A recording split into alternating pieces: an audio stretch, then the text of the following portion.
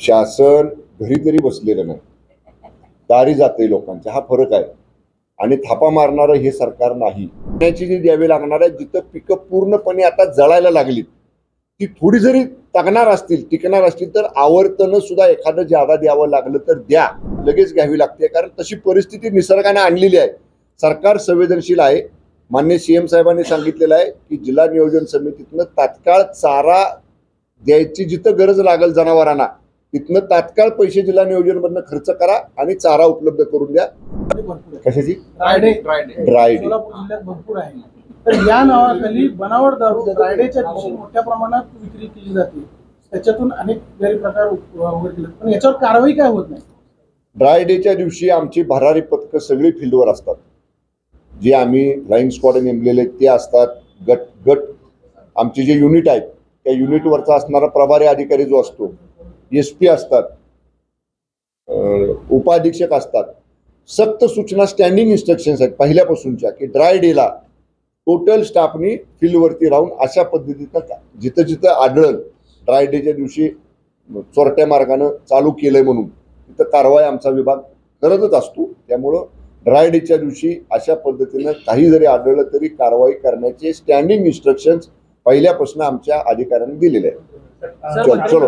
Okay शासन आपल्या दारी उपक्रम शासनाचा सुरू आहे. त्यावरती काल उद्धव ठाकरेंनी टीका केली की शासन आपल्या दारी थापा मारतंय भारी. अशा पद्धतीची उद्धव ठाकरेंनी टीका केली. आपण कशा शासन घरी तरी बसलेलं नाही. दारी जाते लोकांच्या. हा फरक आहे.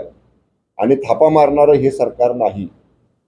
मला माननीय माजी मुख्यमंत्री उद्धवजी ठाकरे साहेबांना नम्रपणानं सांगायचं आहे आत्तापर्यंत काल मान्य मुख्यमंत्री महोदयांनी त्याचा उल्लेख केला परभणीच्या कार्यक्रमामध्ये की तेरा जुलैला तेरा जूनला माझ्या माहितीनुसार माझ्याच मतदारसंघात महाराष्ट्र शासन आपल्या दारीचा राज्यस्तरीय शुभारंभ झाला. पहिल्या दिवशी माझ्या मतदारसंघात झालेल्या कार्यक्रमामध्ये एकोणतीस हजार लाभार्थ्यांना एका दिवशी वेगवेगळ्या योजना ज्याच्यासाठी सामान्य माणसांना एकदा दोनदा तीनदा तालुका ऑफिसला जिल्हा ऑफिसला त्या त्या विभागाच्या जावं लागायचं. ते न जाता आमचे अधिकारी जात आहेत लाभार्थ्याच्या घरी फॉर्म भरून घेत आहेत प्रस्ताव तयार करून घेत आहेत मंजूर करतायत आणि शासन आपल्या दारीच्या कार्यक्रमामध्ये लोकांना ते देत आहेत हा फरक आहे. ज्यांनी मग आमच्या सरकारवर टीका केली ते ते घरात बसले होते आणि या सरकारचे मुख्यमंत्री लोकांच्या दारात जात आहेत हा फरक आहे. मंत्रिमंडळ विस्ताराच्या बाबतीत माननीय मुख्यमंत्री महोदय उपमुख्यमंत्री महोदय अधिकृतपणानं आपल्याला सांगतील पण आम्हाला जे चर्चेतनं समजतंय त्याप्रमाणे लवकरच मंत्रिमंडळाचा विस्तार होईल. लवकर म्हणजे कधी? तालुक्यांमध्ये जिल्ह्यांमध्ये. पावसाचा अभाव आहे. सोलापूर जिल्ह्यात चौदा टक्के धरण आहे. कसं पाहतंय सरकार या संदर्भात? आगामी कॅबिनेटमध्ये काही निर्णय घेऊ शकतं? कॅबिनेटमध्ये याच्यावरती चर्चा झालेली आहे.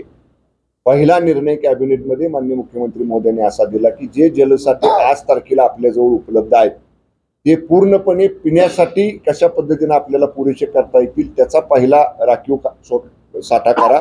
आणि आवर्तनं पाण्याची जी द्यावी लागणार आहे जिथं पिकं पूर्णपणे आता जळायला लागलीत ती थोडी जरी तगणार असतील टिकणार असतील तर आवर्तनं सुद्धा एखादं जादा द्यावं लागलं तर द्या.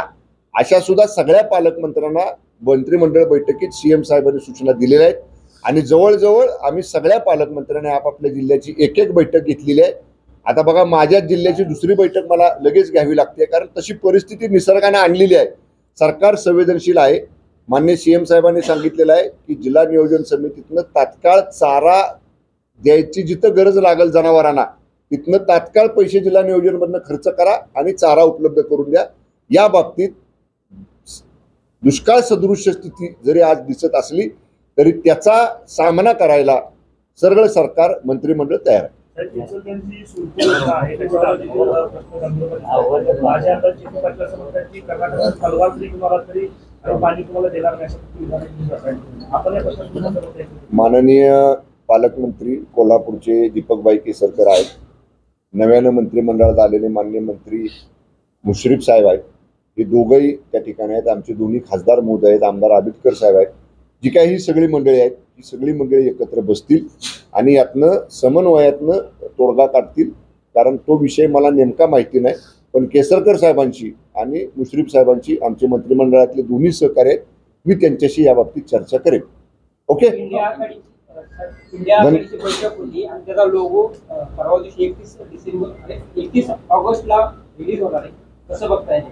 त्यांची त्यांची आघाडी त्यांनी काय करायचं करावं? आमचा महायुतीचा काय त्याच्याशी संबंध नाही. ते लोगो काढत बसतील काय करत बसतील आम्ही कामाला लागलोय. आमचं एकच टार्गेट आहे. दोन हजार चोवीसच्या लोकसभेला मोदी साहेबांच्या नेतृत्वाखाली महाराष्ट्रातनं पंचेचाळीस प्लस खासदार आणि दोन हजार चोवीसच्या विधानसभेला मान्य शिंदेसाहेब फडणवीस साहेब आणि मान्य अजितदादा या तिघांच्या नेतृत्वाखाली सव्वा दोनशे प्लस आमदार हे निवडून आणायचं टार्गेट खूप आधी आम्ही ठरवलंय. आणि त्या दृष्टीनं आम्ही खूप पुढं निघून गेलो काम करायला. काही मंडळी अजून लोकतच अडकली त्यांना तिथंच असू द्या. धन्यवाद. चलो.